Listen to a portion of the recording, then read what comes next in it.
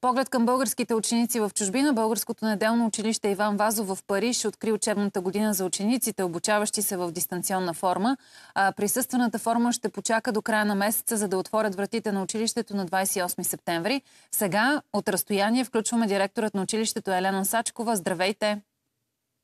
Добро утро, да е честит първия учебен ден на всички българчета, на техните учители и родители. Здравейте! Честит така, първи учебен ден, честит празник, защото си своеобразен празник и за вас. А, как посрещате тази година първия учебен ден? Какво сте предвидели за учениците и какво ще им кажете? Първия учебен ден в присъствената форма на обучение винаги по традиция започва с малка програма.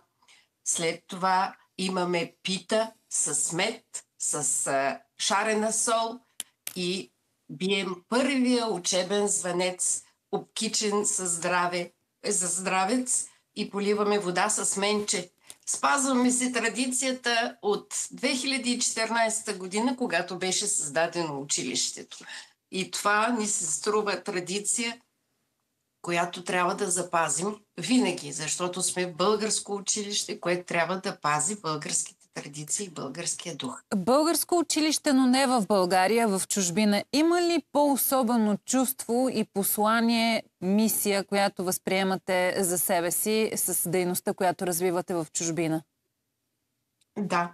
Особеното е в това, че ние възпитаваме деца с две култури. Българската и местната. Тяхната държава, в която живеят. И ние искаме те да бъдат горди с двете си култури, да ги познават и да ги уважават. Защото българин, който се срамува да се нарече българин, не е българин. Как преминава Нашите... обикновено при вас един учебен час? Разкажете ни малко от детайлите във вашата работа. Разминава ли се с начина по който се случва един учебен час в българско училище в България? в присъствената ни форма да. на обучение няма абсолютно никаква разлика. Ние а, учим по учебниците, които се използват в българските а, училища. Това, което е може би малко по-различно е, че добавяме извън класна дейност. А, има танцов състав, театрален състав, клуб по танци за деца и родители, художествено слово. Всичко това се прави с цел да може да подготвим един прекрасен коледен празник и друг празник края на учебната година. Празниците за нас а, са един, едно средство за развиване на българския дух и за създаване на българска общност. Защото тогава се събират и деца, и родители, и външни гости. И това сплотява. Празниците са важен елемент от българския от календар, но и от е, възпитанието на българския дух. Правите ли равносметка и ако да, каква е тя към днешна дата? Успявате ли в чужбина да направите общност от а, младите хора? Ами, аз лично смятам, че отговорът е положителен. И много се гордея с нашето училище, защото то е уникално в няколко отношения. Първо, ние предлагаме обучение от детската градина до 12 клас в присъствена и дистанционна форма на обучение.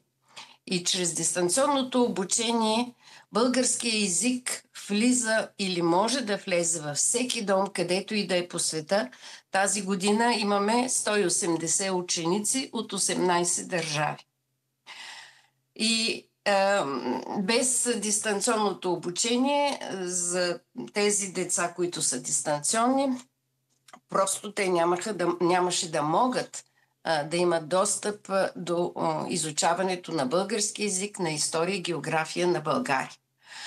Освен това, другото нещо, което е уникално при нас, това са виртуалните ателиета за извънкласна дейност. Ние имаме вокално студио, което миналата година създаде песента Вазовчета. Може всички да я чуят в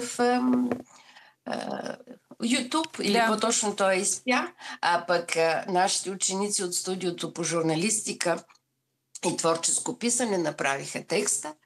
Имаме а, ателие по рисуване, както казва учителя, не знаех, че се учи рисуване с повече приказки и показване, но когато има желание, това може да се случи. А от тази година имаме и спортен клуб за деца и родители. Страхотно. Всички ще правим здравословна гимнастика. На финала на нашия другото- разговор, да, Да. Фин- уникално също е участието на нашите деца в много конкурси.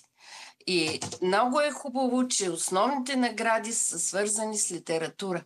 Неща, Прекрасно. които те пишат и се състезават наред с деца, живеещи в България. Показва, че владеят 160 български язик. Да. Поздравления О, за да. вашата дейност. Да. Моля ви на финала, понеже споменахте, че така използвате и интерактивност като, като дейности в обучението на Да. децата.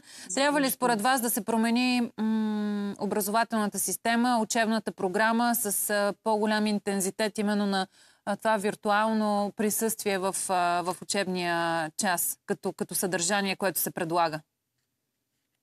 Лично за присъствената форма, аз лично, това е моето мнение, за присъствената форма не бих задължила учителите да въвеждат задължително някакви интерактивни упражнения. Аз мисля, че основното в присъствената форма е чара на учителя, неговото умение така да подходи, че да бъде а, на децата комфортно.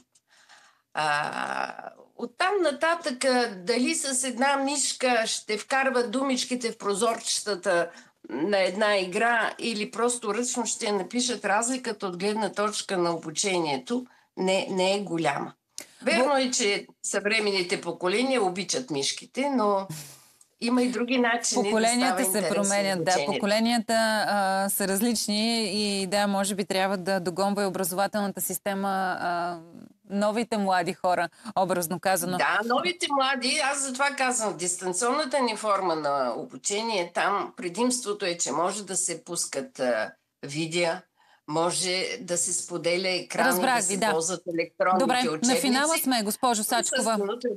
Да. Едно пожелание от сърце към всички първокласници, към всички ученици в напреднала фаза вече на обучение, към всички родители, които са трепетни и ще бъдат трепетни до финала на, на обучението на своите деца. Моето пожелание е да се опитат да правят това, което правят, т.е. да ходят на училище, да учат с любов.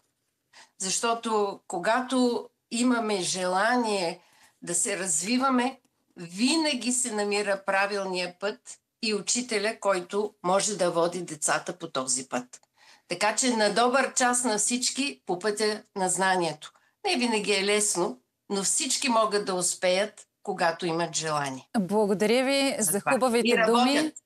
Благодаря ви Да, за хубавите думи. да Благодаря ви за това, че ни пренесохте в, в вашата атмосфера и дейност образователна. Благодаря ви още веднъж, Елена Сачкова, директор на Българското неделно училище Иван Вазов в Париж. Успешна учебна година и на учениците там. А сега отивам